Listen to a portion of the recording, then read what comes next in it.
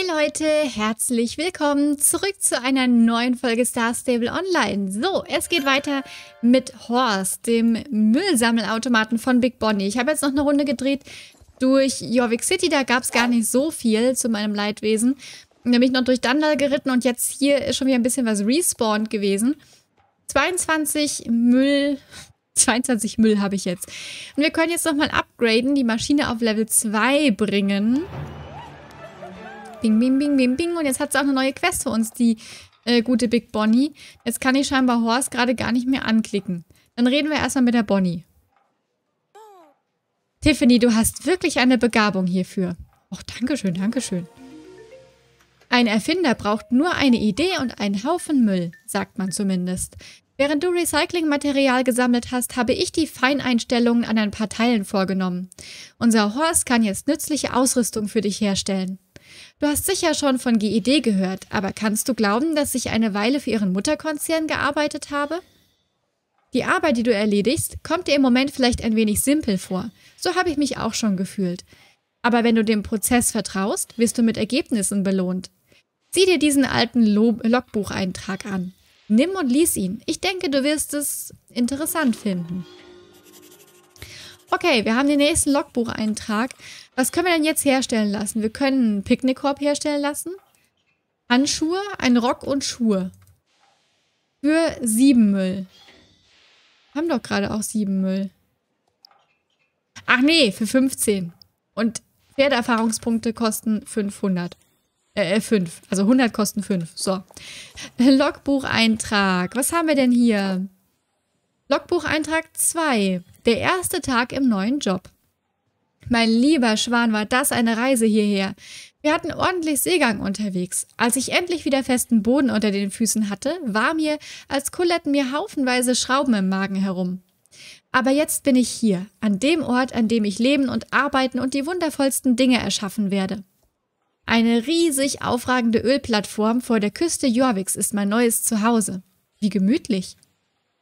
Diese Plattform ist gigantisch. Die hoch aufragenden Stützen, die wie metallene Spinnenbeine aus dem Meer ragen, sind verwittert und mit Seepocken bedeckt. Die Luft ist erfüllt von der Gischt des Meeres, was meinen widerspenstigen Haaren nicht gerade zuträglich ist. Heute habe ich einige Kollegen kennengelernt. Keiner von ihnen wirkte besonders aufgeregt darüber, hier zu sein. Sie wirken fast lässig. Wieso lassen die Fortschritte von Wissenschaft und Technik sie nur so kalt? Sie sahen fast aus wie Klone in ihren übergroßen Plastikponchos und den riesigen, wuchtigen Stiefeln. Aber ich konnte doch erkennen, dass darunter Menschen steckten, jeder auf seine eigene Art einzigartig. Als einer der anderen das breite Grinsen auf meinem Gesicht sah, hat er mit den Augen gerollt und mir einen finsteren Blick zugeworfen. Die Freude am Neuen wird dir bald vergehen, hat er gesagt, und jetzt, Stunden später, sitze ich auf meinem Bett und frage mich, was er damit gemeint hat. Ja, Big Bonnie bei der GED. So, lasst uns mal noch einmal da hinten bei den Ölfeldern schauen, beziehungsweise ähm, da hinten bei den Öl... Ja doch, sind doch Ölfelder. Ähm, von der GED. Vielleicht finden wir da auch noch ein bisschen Müll und können mal schauen. Also ich glaube nicht, dass wir jetzt hier direkt nochmal 15 Stück zusammenbekommen. Dafür müsste ich da hinten ja achtmal Müll finden. Ähm, aber gucken wir mal. Gucken wir mal, was wir da noch finden können. Und ähm, dann wird es in der nächsten Folge dann weitergehen mit... Ähm, ah, mit was denn? Ja, wahrscheinlich werde ich schon noch ein bisschen Story aufnehmen, aber am Mittwoch ist ja jetzt noch ein neues Rennen rausgekommen. Wahrscheinlich werde ich mich damit dann am Mittwoch erstmal noch befassen. Ähm, oh, da war noch Müll, genau. Aber ich werde so viel wie irgendwie möglich diese Woche im Voraus aufnehmen. Das heißt, dass ich dann die nächsten Story-Quests schon wieder aufnehme, bevor das Rennen rauskommt. Ähm, einfach damit ich ein kleines Polster habe. Weil ich glaube, ich gehe deutlich entspannter in die neue Sache, in den neuen Job rein. Ich freue mich natürlich auch schon drauf. Ähm, aber ich glaube, ich gehe trotzdem nochmal entspannter rein, wenn ich schon so ein bisschen was fertig habe, einfach für YouTube und ich das entspannter angehen kann und ähm, ich einfach so ein bisschen in aller Ruhe auf mich zukommen lassen kann, was da eben auf mich zukommt. So, unheimlich, umständlich erklärt, aber ich glaube, ihr könnt nachvollziehen, was ich meine.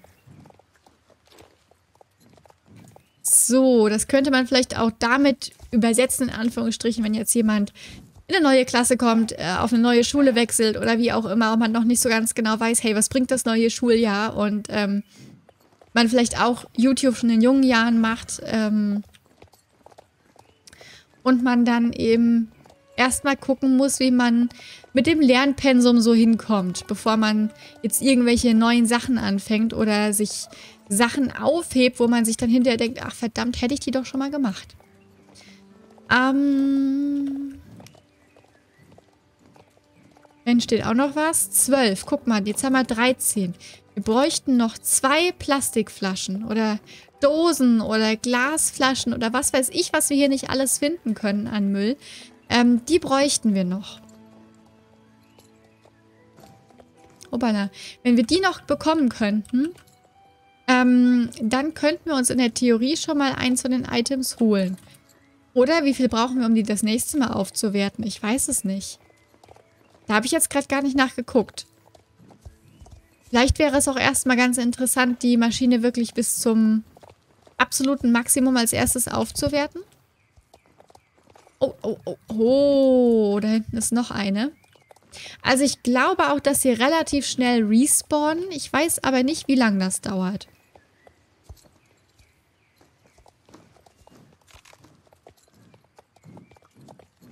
Da bin ich überfragt mit.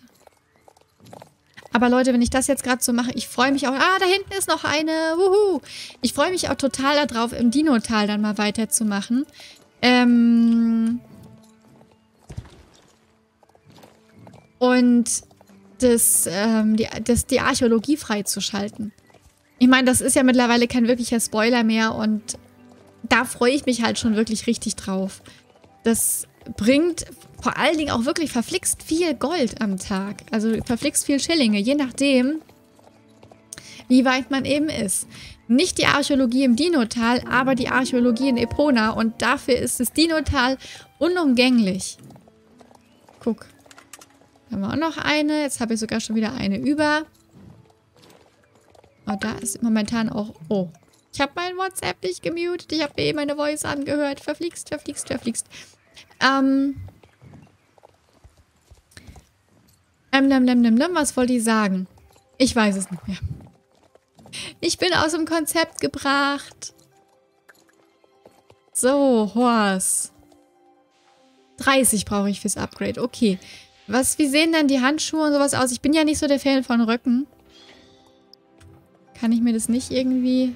Ah, doch. Die sind nicht ähm, Jumpy-tauglich. Und das ist das nächste, was mich jetzt leider gar nicht mehr so überrascht, in Anführungsstrichen. Die Schuhe sehen aber ganz cool aus und mit den Zahnrädern. Aber es überrascht mich halt nicht wirklich, weil... Ähm, das habe ich halt schon gelesen. Und leider haben die auch keinen Verkaufspreis. Das heißt, es lohnt sich halt nicht mal. Das heißt, ich werde schön brav weiter sparen und hier noch nichts weiter abgeben und gucken, wann wir das nächste Mal Horst auf die nächste Stufe aufwerten können. Ich glaube fast, das ist jetzt das Sinnigste. Ja. Was haben wir denn hier hinten? Haben wir auch noch eine Quest. Ach, das ist aber... Ach, das ist die bei Emma. Nee, das macht jetzt eigentlich keinen großartigen Sinn. Hm.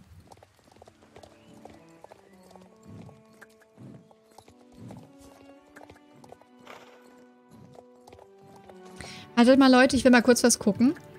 Mir wurde jetzt schon ganz oft ge gesagt, dass es den Shop in äh, Silverglade, wo ich das Cowboy-Set her habe, dass es den nicht mehr gibt. Und den gibt es leider tatsächlich nicht mehr. Der war nämlich immer hier. Und ich muss sagen, ich finde es sehr schade, dass der nicht mehr da ist. Weil ich fand das eigentlich immer ganz cool, dass es hier noch so einen Shop gab, wo man auch wirklich reingehen konnte.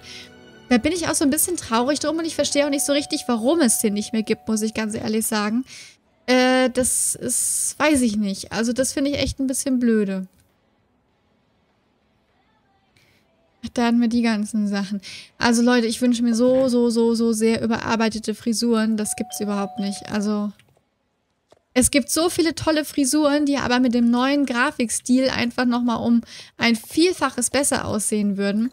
Aber da werden wir uns wohl noch ein kleines bisschen gedulden müssen, bis es da mal irgendwie einen Fortschritt gibt. So. Da unten hätten wir jetzt noch eine Quest bei, bei, bei Dingsbumstar, bei Dingsterbumstar. Wir könnten, mir fällt gerade noch was ein, wo wir mal noch eben hinreiten können.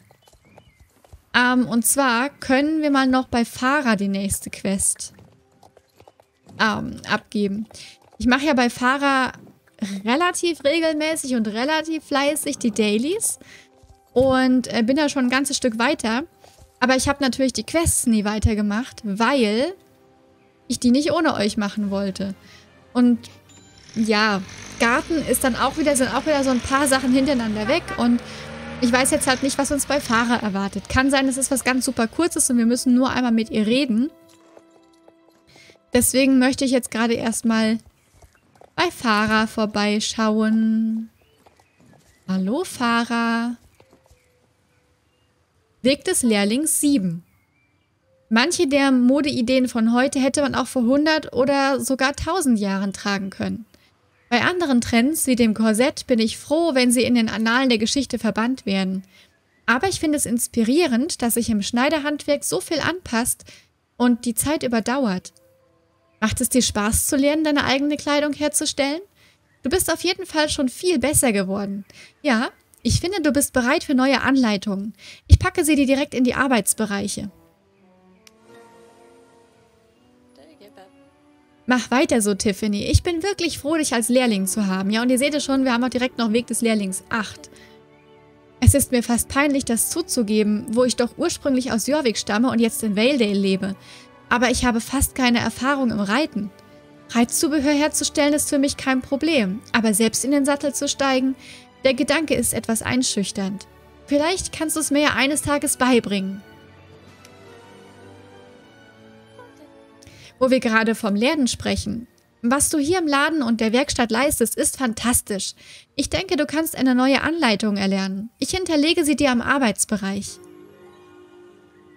Und jetzt müssen wir erstmal wieder ein bisschen warten. Weg des Lehrlings 9 ist nämlich noch nicht abgeschlossen. Da muss ich noch ein bisschen was machen. Ihr Lieben, das würde ich sagen, gehen wir dann wann anders an. Ähm, ja, wie gesagt, in der nächsten Folge seht ihr wahrscheinlich erstmal noch das neue, den neuen Parcours. Vielleicht machen wir dann hier sogar noch ein bisschen bei Fahrer weiter, wenn ich bis dahin denn schon genug noch abgeben konnte. Aber ich glaube, das reicht noch nicht ganz. Und ähm, ja, wenn dann der Reitparcours abgeschlossen ist, dann wird es auch mit der Story weitergehen. Meine Güte, Mittwochmorgen kommt dann keine Folge. Denn ähm, die wird dann ja durch die Pferdekauf-Video-Folge äh, am Nachmittag gesetzt, durch die Pferdekauf-Folge am Nachmittag. Müssen wir dann mal schauen. Ich weiß noch nicht genau, wann es dann mit der Story weitergeht. Aber auf jeden Fall wird es auch nicht allzu lange dauern. Ich bedanke mich schon mal ganz herzlich fürs Zuschauen. Macht's gut und bis dahin. Tschüss.